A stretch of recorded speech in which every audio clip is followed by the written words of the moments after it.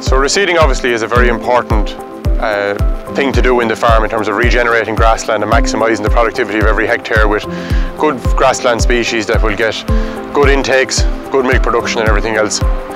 So when you're going about reseeding, it's obviously a very expensive process. In the background we have machinery working here which is obviously costing so much per acre or per hectare to work. And we want to make sure we protect that investment as much as we can by maximising the return we get out of it. So you're investing in machinery and the activity of reseeding, you're investing in the grass seed, you're investing in the sprays, and really a key point as well is that we invest in the soil that we're trying to grow that grass seed in to get the best return that we can and to maximise the germination and the success of that sward when it emerges.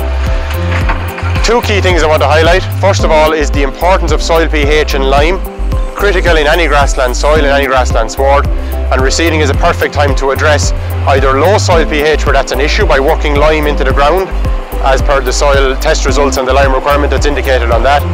And secondly, even in situations where we have behind us, we're working, uh, we're not ploughing, we're working the reseed by a direct drilling process. That leaves a lot of trash at the surface, can create a lot of organic acids, and that means it can put a bit of extra pressure on the surface acidity.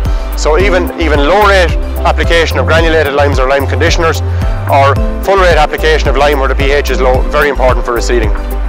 The second thing to get right is your fertiliser at the point of reseeding. And one nutrient which is particularly important for new swards is phosphorus. Phosphorus is very important for cell division, for rooting, for tillering, all of the processes which are essential to get a sward up and running. So phosphorus in the seedbed is very important. Where soil indexes are good, up to 30 kilos per hectare or 25 units per acre of phosphorus is important to apply in the seedbed uh, higher rates where indexes are lower, so an extra an extra 10 kilos per hectare in index 2 or an extra 20 kilos per hectare in index 1 because phosphorus is so important for the, for the early seedlings, for germination and for establishment. Nitrogen and, and potassium and sulfur go in around that as well. K will usually go into the seedbed with, with potash at a ratio of about 1 to 2, so about 50 to 60 kilos per hectare of K with phosphorus.